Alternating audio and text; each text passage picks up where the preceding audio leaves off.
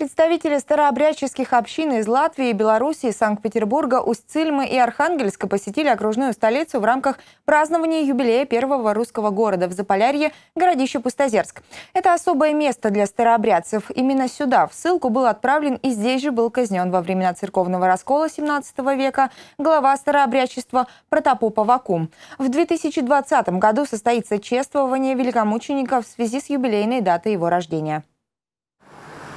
Старообрядческом церковном комплексе значимая встреча. Губернатор Ненецкого округа, советник президента Российской Федерации и старообрядцы из разных регионов России и зарубежья собрались за одним столом, чтобы обсудить предстоящее событие – 400-летие со дня рождения протопопа Авакума.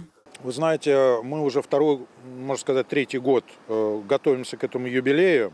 А, мы сотрудничаем э, с Министерством культуры. А, это будет э, целый ряд мероприятий в разных регионах России, особенно в тех регионах, которые связаны с памятью о вакууме. Допустим, это э, Бурятия, где он находился в Даурии в ссылке. Это Нижегородская область. Это, конечно, Москва, где он проповедовал, начал свой э, проповеднический путь. Э, это многие-многие регионы России.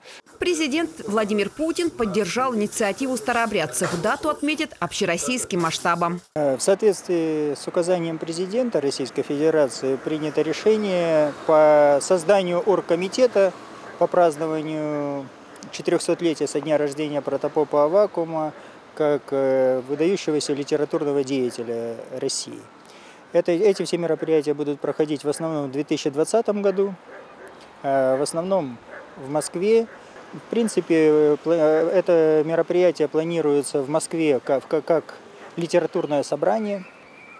Э, также к этому дню, празднику будет приурочен международный съезд старообрядцев, который будет проходить накануне также в Москве, и научно-практическая конференция.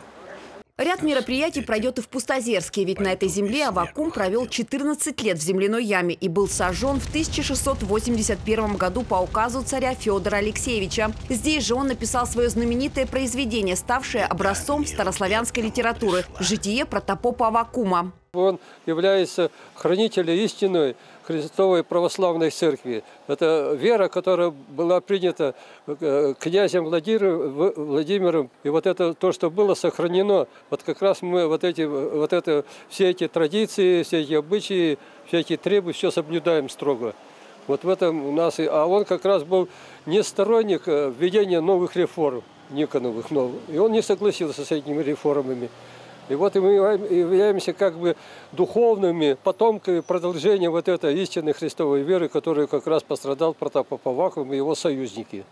Известный духовный писатель ему приписывает 43 сочинения. Кроме знаменитого жития протопопа Авакума, книга бесед, книга толкований, книга обличений и другие. Он считается родоначальником исповедальной прозы. Старообрядцы почитают Авакума священномучеником и исповедником. Любовь Пермякова, Вадим Стасюк, телеканал «Север».